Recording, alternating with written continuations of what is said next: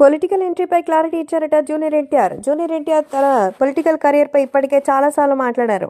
రాజకీయంగా నాకు రావాల్సినటువంటి సమయం ఇంకా రాలేదని ఇప్పుడు నేను సినిమాలు చేయాలి. సో నన్ను ఎంతో ప్రేమించే అభిమానులు మరి సినిమాలు చేయాలని కోరుకుంటున్నారు. వాళ్ళ యొక్క కోరికని నెరవేర్చడం సినిమాలు చేస్తేనే పూర్తవుతుంది. కాబట్టి నన్ను నమ్మి ఎంతో మంది ప్రొడ్యూసర్లు దర్శకులు ఎదురు చూస్తున్నారు. వాళ్ళందరికీ కూడా చేయాలి. కాబట్టి నాకు తెలిసింది నటించడం. అది మాత్రమే నేను చేయగలను. అది స్క్రీన్ మీద. పొలిటికల్గా రావాలంటే దానికి ఒక సరైన సమయం రావాలి.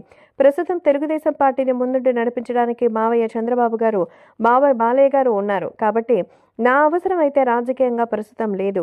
ప్రస్తుతం నా అవసరం అర్హత అన్నీ కూడా తెలుగు సినిమా ఇండస్ట్రీలో ఉన్నాయని. కాబట్టి ఇక్కడే నేను రాజకీయంగా కాకుండా సినిమాటిక్ పరంగానే ప్రస్తుతం వర్క్ చేయగలనంటూ ఎన్టీఆర్ క్లారిటీ ఇచ్చారు.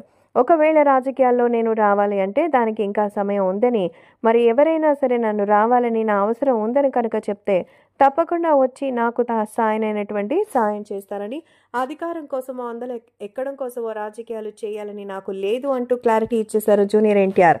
ఎంత నేర్పరిగా అలాగే ఎంత మెచ్యూర్డ్గా అయితే ఎన్టీఆర్ ఆన్సర్ చేస్తారనేది మనందరికీ తెలిసిందే.